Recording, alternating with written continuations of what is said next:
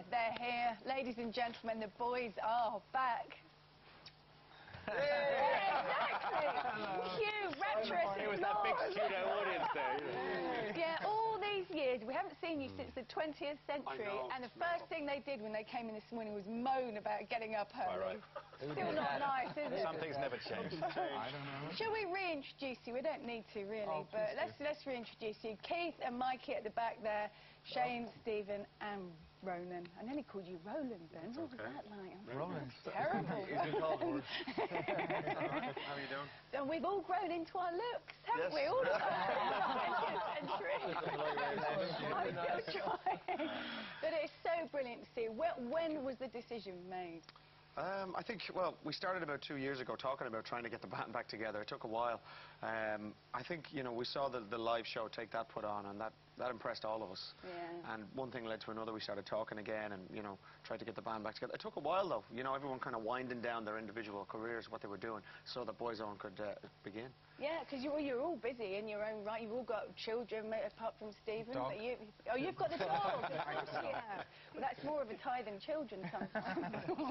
so you're all busy doing, you know, career things, children, dogs, all that sort of stuff. So how hard was it to, to wind down? I mean, what, what did you... Because you, you, you know, you haven't stopped really. Yeah, I mean, you? but you know, Keith was in Coronation Street, and Yeah, uh, Stephen on the West End. Shane was, you know, he was number one in the the championship thing. was on the game. On the games, yeah, he was on the games. Oh, yeah. Remember you died. Mikey was You've recording, driving, producing, so I mean, it, Yeah.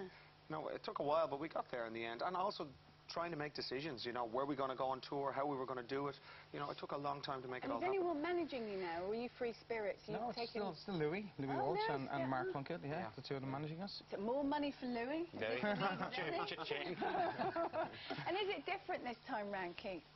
Yeah, obviously it's different, but um, because what you just said, we have a lot more responsibility now. We've got, you know, our kids are getting a, lo- a lot older than they were then, and um, just trying to kind of balance family life with with Boyzone is quite difficult because, you know, our families are missing us a lot more when we're away. We're not used to being as away as often as we were, and and obviously uh, we're missing them when we're away. But uh, we're we're trying to make the best, you know, balance possible and, and enjoy ourselves and get them over when we can.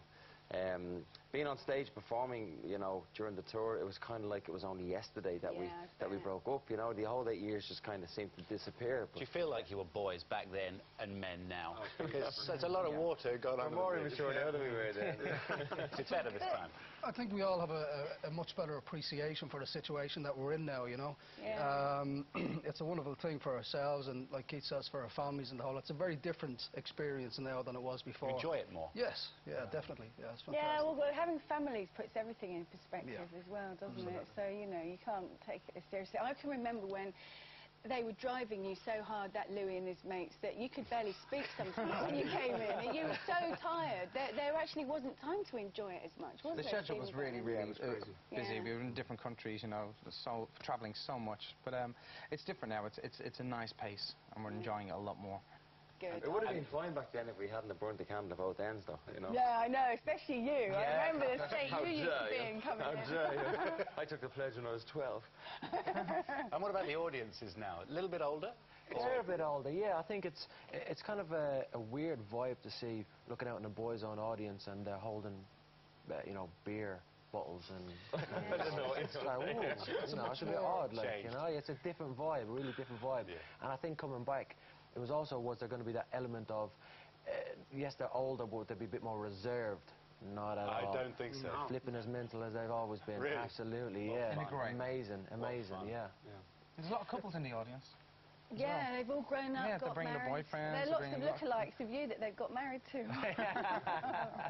I saw, um, oh God, New Kids on the Block. Oh, yeah. They were How on the was Al? Murray show a couple of weeks. Oh, I saw that, yeah. Yeah, yeah. Yeah. They, they weren't as good as. I've just seen you in rehearsals. They weren't as No, good. no. And, um, It's a great thing. but yes, It it's a brilliant. yeah. I think people will be surprised by the single Well, I think that's, yeah, that's been the reaction on radio. You know, people when they hear it's Boyzone, they're like, "No way, that doesn't sound like Boyzone." We we were very, you know, conscious of having a new sound for Boyzone coming back. Yeah. Uh, it would have been easy to put out, you know, a big ballad, a typical Boyzone ballad, but we wanted to be different. Um, you know, Take That definitely set the bar with patience. So I mean, great songs, really great songs. So we took our time, and hopefully we found the right one. Yeah, a great song. Love You Anyway, it's called. Um, you will be performing it later Yes, on. indeed. And do you know what? This is, again, hats off to you. You always sing live.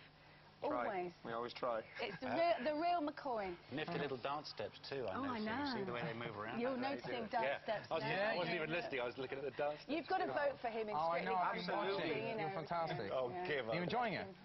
Yeah, secretly enjoying it, but you know, it's fear, isn't it? Going is, out there it's and actually having scary, to isn't perform. I salute you, Scary boys. stuff, yeah. Really. Stephen did the ice skating, what, two years ago now? Oh, I Yeah. know. Unbelievable. lovely, isn't it?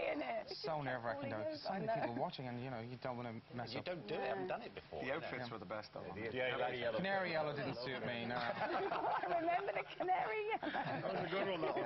Canary yellow felt. Canary yellow, but you didn't fly, did you? You No. spent most of it on Yeah. the floor.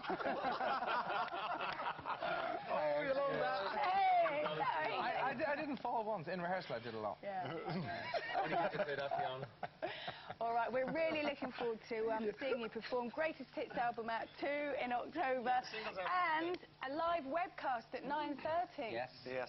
on the website gm.tv. I have Right. a feeling that will be very busy. Here's five lads who would definitely ride to the rescue